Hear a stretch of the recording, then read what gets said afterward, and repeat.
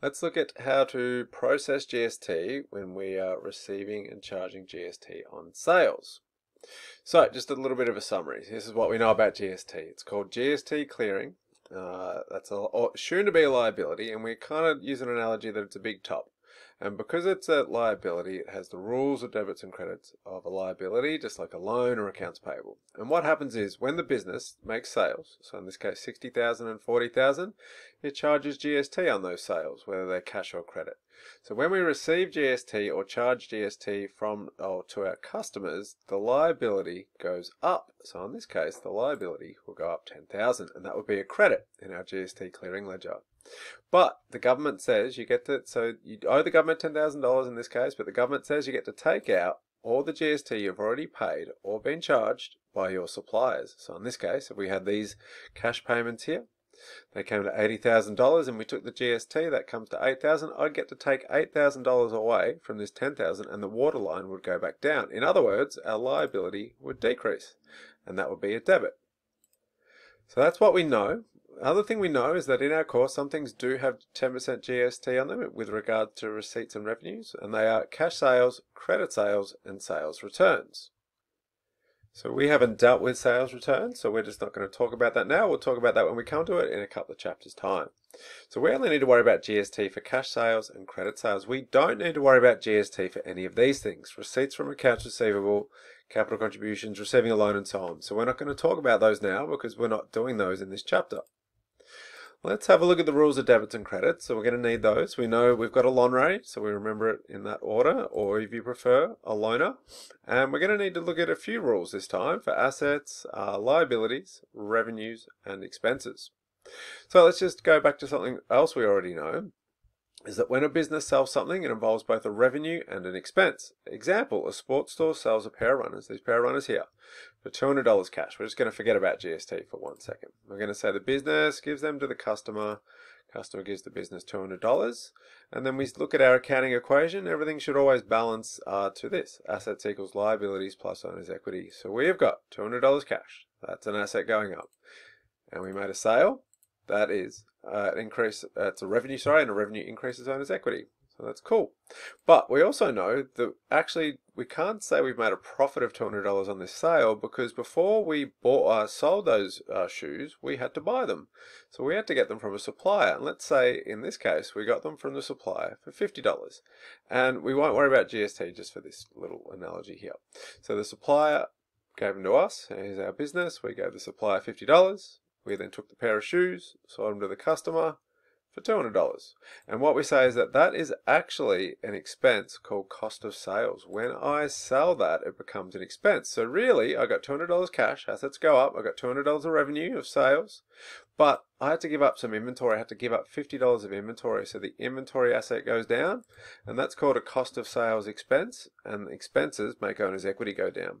And if I balance all that out, so assets went up 200 but down 50, that's a total of up 150.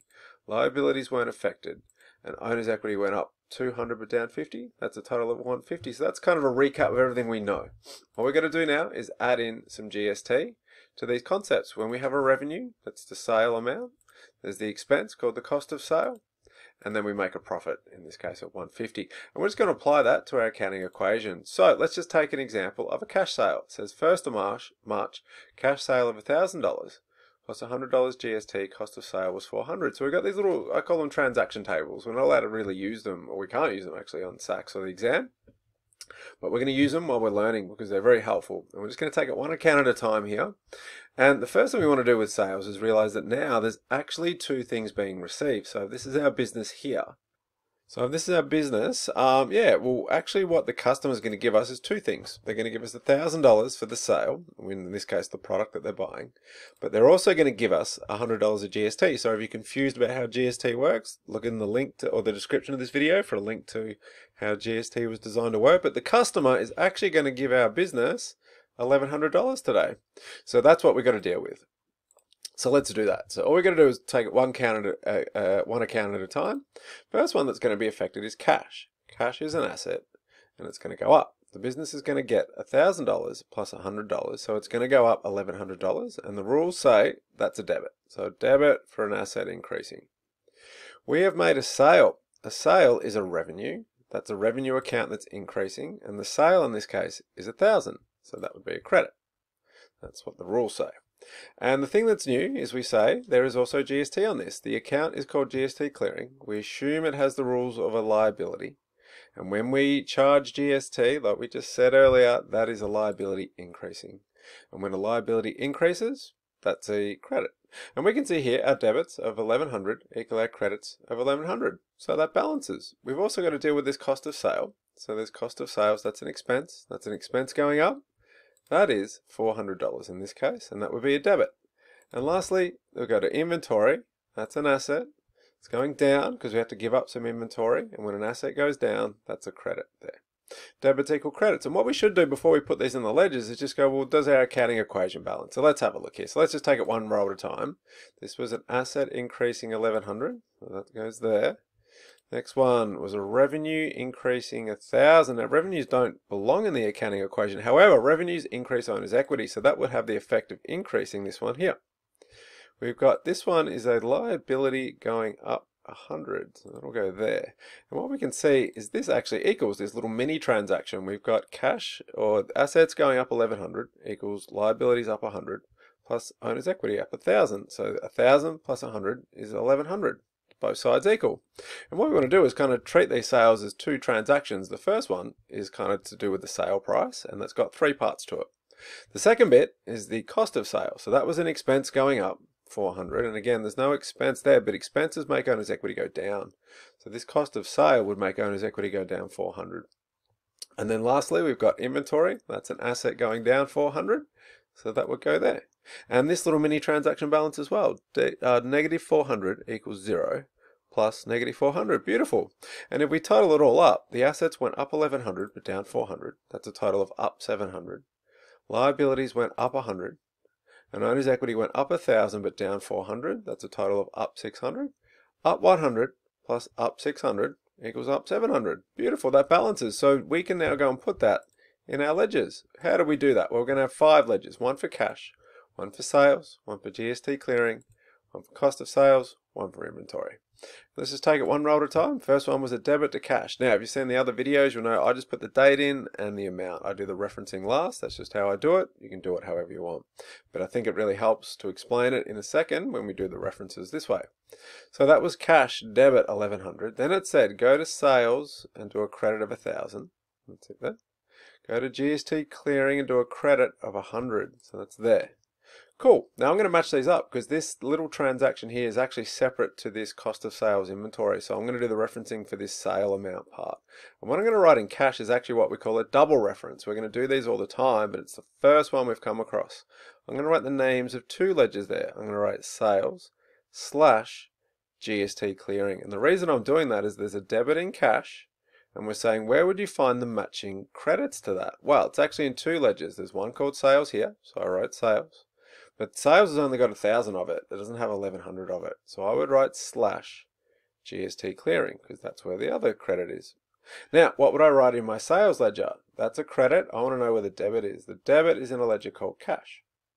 And likewise for GST, where's the, this is the credit, where's the debit? It's in a ledger called cash. Some questions might call the cash ledger bank, cash at bank. It doesn't matter, whatever it's called, that's fine. The next one was cost of sales. Do a debit of 400. So do the date, debit 400, and then it says inventory. Do a credit of 400 there. And now I'm going to match these up with references. So on cost of sales, that's the debit. Where will I find the matching credit? In this uh, ledger account here called inventory. And in inventory, there's a credit. Where will I find its debit? In cost of sales. Beautiful. We're all done. So there's quite a bit there. That's five separate things to record one transaction. And that's the most we'll have all year. So that's very, very complicated. Let's do the same thing, but with a credit sale. And really, this is going to be very similar. Okay, so we'll go through this one a bit quicker. You can pause the video, slow it down, rewind it. But basically, the first thing to remember again is in this case, it's a credit sale of $2,000 plus $200 GST. The cost of sale was 900. Well, again, we're, we're the business and we're actually going to charge the customer 2000 for the product and 200 for GST. That's like they're buying two things today, the product and some GST. So for our business, we're actually going to charge them today 2200. So that's really important. And it's really important because the first account that will be affected is accounts receivable. That's an asset and it's increasing and it will go up by the 2000 but also that GST so it will go up by $2200 and when an asset goes up that's a debit. Now the rest is actually going to be the same. The amounts are just going to be different. So the next account was sales. That's a revenue. So revenue increasing. When a revenue goes up that's a credit. GST we are that is a liability. We are charging it to the customer. So when we charge it to the customer even though we haven't got it our liability goes up because they will pay it to us eventually. We'll deal with that in another video. When a liability goes up, that's a credit. Exact same entry as last time, just different numbers, and we did it to accounts receivable. Now, the next part will be the same. Cost of sales is an expense. It's going up. Expenses go up on the debit side. And so likewise, same as the last transaction, inventory is an asset. It's decreasing when assets decrease. That's a credit. And if we just check our accounting equation here, so we had accounts receivable asset go up 2200. We had our sales, which increases owner's equity, 2000. We had our liability called GST clearing go up, and that balances 2200 equals 200 plus 2000. And then we got this cost of sales bit, so that was an expense. Expense decreased owner's equity 900, and also the, the asset called inventory went down 900. And this little bit balances too. Negative 900 equals 0 plus negative 900. Just total them all up. This side goes up 2200 but down 900. That's a total of 1300. Liabilities went up 200. And owner's equity went up 2000 but down 900. That's a total of 1100. Beautiful, because 1100 plus 200 equals 1300. And we balance. What we're going to do is put those in ledgers and we'll do the same five ledgers except for the first one. Instead of putting it into cash or bank, we'll put it into accounts receivable. The other ledgers will be the same. So, first one, debit to accounts receivable. Then it was a credit to sales, a credit to GST clearing, and now I'm going to reference them. So in accounts receivable, I'm going to do a double reference again. I'm going to write sales slash GST clearing, just like I did last time, because the credits are in this account here called sales and GST clearing. What about here? This will be slightly different. So this time I'm going to write the name. This is the credit. I'm going to write the name of the debit. The debit is in an account called accounts receivable. And likewise, I'll do the same for GST. Now with the previous one, we wrote cash. So that's a little bit different. But all we're doing is matching it up. We're saying that's the credit. We're just going to find where the debit is. Cost of sales, that will, and inventory, that will actually be the same entry with the same reference. In cost of sales, we'll write inventory because that's that's um, that's the debit and the credit's in inventory. And in inventory, we'll write a cross reference of cost of sales because that's a credit and the debit is in cost of sales. All done. So if we just had a quick comparison there and put all those up, obviously the amounts are different, but if we look at that and go, well, how are they different? They're very, very similar, except for with a cash sale, the debit goes to a ledger called cash. Whereas in a credit sale, the debit goes to an account called accounts receivable. The only other difference was with the referencing in the sales and GST clearing ledgers. In When it's a cash sale, we wrote cash. And when it was a credit sale, we wrote accounts receivable. I just abbreviated that there. That's an acceptable abbreviation. You can abbreviate accounts receivable to, to what you can see there. And the cost of sale was actually identical for both. It was the exact same thing. Obviously, the numbers are different, but in terms of the referencing and the debits and credits, that is identical. So basically the credit side of the GST clearing ledger will tell you the cash sales and credit sales for the period. So you might get a question, I've seen this on previous exams, where they just give you the GST clearing ledger and they kind of get you to, you know, calculate some numbers from it. So let's have a look here. If I look at these are the numbers, uh, we just made some numbers up here with some dates, okay? But the important thing is the references because from that, I can tell what the cash sales were. So look at this one on the 1st of March. That's got to be a cash sale because that's saying that's the credit to GST clearing. Where's the debit? It's in a ledger called cash. So that must have been a cash sale. So that was $100. So that must mean the GST on that was 100 Now I know GST is 10% of the, the sale price, so the revenue must have been 1000 Then we got the 15th. I charged $700 GST. That must have mean that must have meant the revenue was 7000 And on the 24th of March, I charged $500. That must have meant the revenue was 5000 I can total that up and go, my cash sales were $13,000 plus 10% GST of 1,300. And I can tell that just from looking at that GST clearing ledger. Likewise, I can do the same with my credit sales. The reference will be different. Instead of saying cash, it'll say accounts receivable. So the first one we got here is on the 2nd of March, and the GST was 200. That must have meant the sale or the revenue was 2,000. Uh, we got the 7th of March. It says accounts receivable 400. That's the GST. So the revenue must have been 4,000.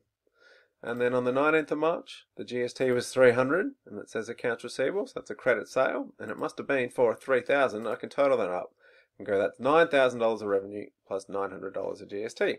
Just all that information just from looking at that ledger. So um, that just leaves one thing to understand that we haven't done, and it might you might have a question from earlier in this video where you go, actually, you kind of skip something because if we look at here's what we just did for the cash sale and the credit sale, for both of those, with the cost of sale entry, there was no GST. There was only GST on the sale. In this one, the sale was a thousand, so the GST was a hundred. And here, the sale was 2000, so the GST was 200, but we didn't do any GST on the cost of sales. So what we'll look at in the next video is why is there no GST on cost of sales?